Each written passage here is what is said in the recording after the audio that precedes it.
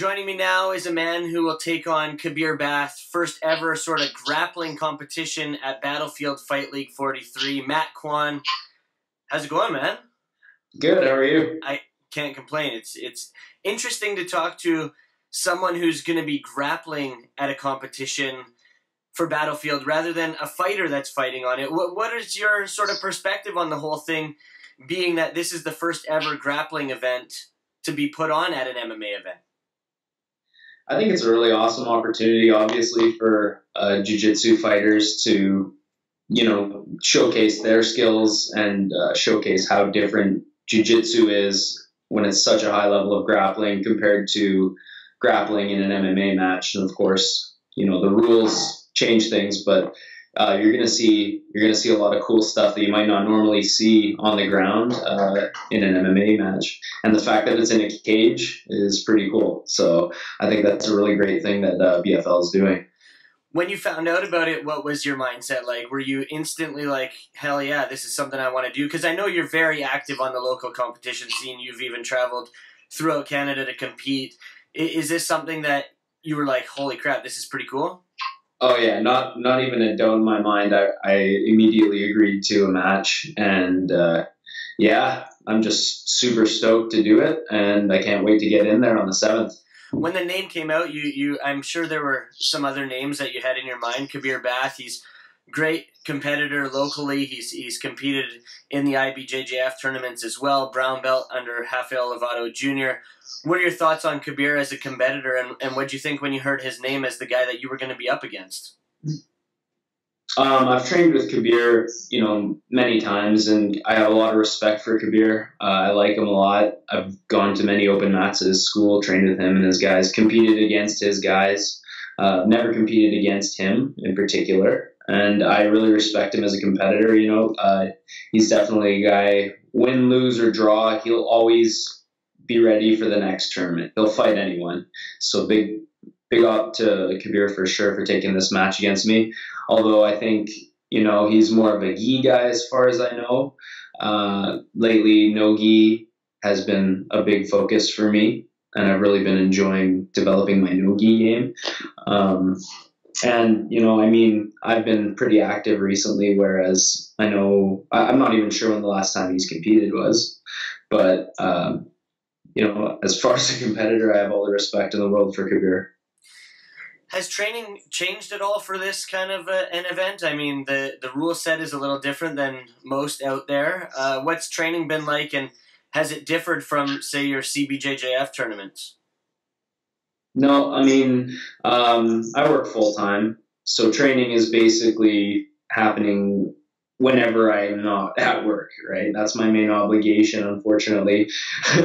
but uh, it makes it hard to train full time or even feel that you're 100% prepared. So for guys like me that can only get to the gym maybe once a day, uh, usually it's a longer session and it could mean, you know, you have to train smarter to make up for lost time. You have to study and just constantly think about training while you're you know when i'm at work i'm just thinking about training and thinking about new techniques and cool cool stuff that's all i'm thinking about so you have to find pockets of time uh, as far as my preparation it hasn't really changed at all i, I train every day uh, some days harder than others because I'm a, I'm all natural. I don't believe in like a lot of sup- supplements and definitely no steroids or anything like that. So I have to let my body rest. Sometimes training three times a day isn't uh, the smartest thing you can do for your body.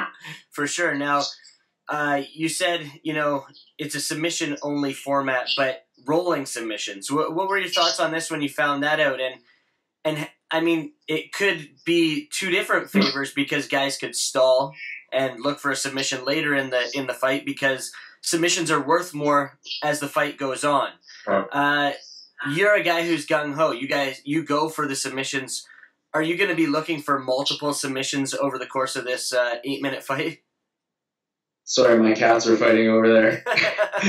um, absolutely. Uh, to me, the, I'll just be going for submissions until the clock runs out. You know, that's that's how I roll in the gym. That's how I roll when I compete. Um, I do play the points as well at times when I have to, but uh, it's definitely not my preferred objective when I'm grappling. I like to go for submissions, and I definitely like to experiment, spur the moment. So if it happens in front of a crowd, you know, in a cage, that's even more cool for me.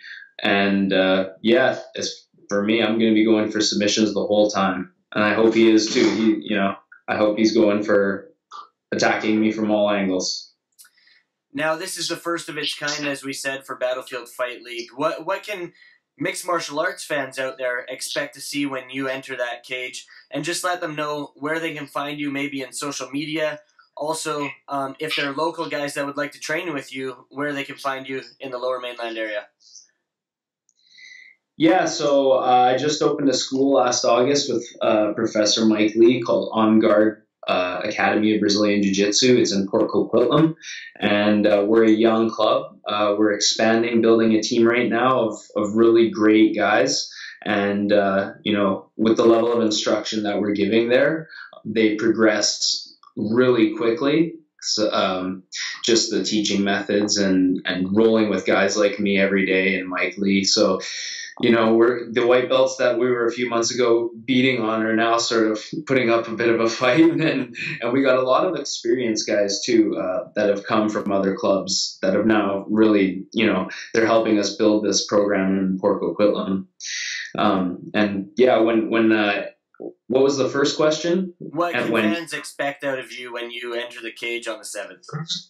Well, basically, every time that I step on uh, to compete, I look to put on a show. Uh, I I like to express myself with a lot of cool different various submissions of a very submission oriented game. I'm not the kind of guy who is going to just stall, uh, hold someone in my guard, or just try and pin them down. Uh, if I'm not passing, I'll be attacking the legs, vice versa. You know, uh, if if he, I don't really care. If Kabir wants to wrestle with me, I'm confident on my feet. Um, if he wants to pull guard, I'm confident on top. You know, I, I don't know. I don't see him taking me down, to be honest. And can fans keep up with you in the social media game? Yeah, absolutely. Um, I'm at BJJ Matt K on Instagram and uh, my Facebook page, Matt Kwan. Um, yeah, hit me up. Twitter as well, uh, BJJ Matt K. And I just want to say thanks to my sponsors, BC Kimonos and BJJ Depot, and of course my friend Adi Nokiani uh, at Simply Wellness Dental makes some awesome mouth guards. So thank you to all you guys. Matt, good luck on the seventh, buddy. Thank you very much, Jeremy. Thanks. So here is the other half of that fight between Matt Kwan and Kabir Bath. He is Kabir Bath, brown belt under Rafael Lovato Jr. Thanks for joining me, man. Man, it's my pleasure to be here. Super pumped about this fight. It's gonna be awesome. It's pretty cool to see grappling up on a big stage like that right now. Sort of what I what I wanted to get right into. I mean, you've been on the scene for quite some time. You, I mean, back with Gracie Barra, you you went in there as a as a kid that didn't really know what he was getting himself into. Now you own your own club. Did you ever think that you were going to be competing in a grappling event in front of an MMA crowd? Man, never thought that was going to happen for sure. I mean, when I started jiu-jitsu, I really even thought I was going to do it. I remember the warm-up, like, smoked me. I was like, man, I don't even know what I'm doing here. but then I just started competing in, like, 2006. And, like, I've done, like, some super fights, but it's, like, been in front of, like, a wrestling crowd or at a jiu-jitsu tournament, for example but in front of an MMA crowd, you know, in a cage with all the other, you know, song and dance that goes on, you know, walkout songs, weigh-ins, all that fun stuff, makes it a really cool experience. I'm really excited. I think you can do a lot uh, for the sport in our area. Is it is that what got you pumped to sort of get right into it? I mean, the fact that it could build Brazilian Jiu-Jitsu and BC to a whole new level. Dude, absolutely. Um, just like when I was contacted about it and I heard about this, I'm like, man, it's the perfect way to just start sneaking it in there and just start showing like the pure grappling side of things. And Battlefield has a pretty cool format they're doing, you know, trying to really force us to go for multiple finishes throughout the match rather than just grinding it out, you know, like you might see at some other tournaments. But yeah, I think it's gonna do wonders. Like I just know, like for me, at my school, I have like tons of people who I don't think would have ever went to say a jujitsu tournament just to watch so like me fight or like Dion fight, for example.